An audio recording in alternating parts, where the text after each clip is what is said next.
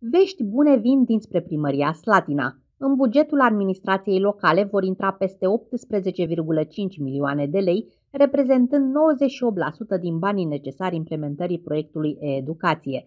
Banii care vor intra vin de la Uniunea Europeană prin programul operațional regional.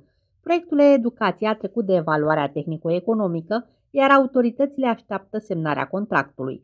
Partea cea mai importantă este că proiectul a fost realizat exclusiv de angajații Serviciului de Integrare Europeană din cadrul primăriei Slatina. Am trecut și de evaluare tehnico-economică, urmează perioada de, de contractare, ultimul pas, până la implementarea, începerea implementării acestui uh, proiect. Este un proiect pentru care ne bucurăm foarte, foarte mult că am obținut această finanțare era peste puterea bugetului local de uh, a susține uh, această investiție pe raza unităților de învățământ preuniversitar din Slatina. Este un proiect în valoare totală de 19 milioane 19 uh, milioane 71.477 de lei, din care valoarea eligibilă nerambursabilă 18.670.447 de lei, o cofinanțare a primăriei municipiului Slatina de doar 381.029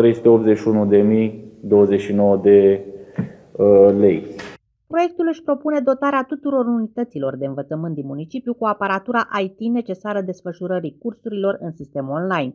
El vizează achiziționarea a mii de tablete, sute de laptopuri și calculatoare, zeci de camere de luat vederi, proiectoare și alte aparate necesare transmiterii orelor de curs în condițiile în care este imposibilă, din motive diverse, prezența elevilor în sălile de clasă. Acesta presupune dotarea unităților de învățământ cu dispozitive, tablete, au rămas în urma evaluării tehnico-economice 9107 bucăți, 558 de laptopuri, 183 de sisteme desktop monitor și 69 de sisteme all-in-one, uh, camere web, uh, proiectoare, ecrane cu uh, trepied, cu proiectoare trepied, ecrane de proiecție pentru perete.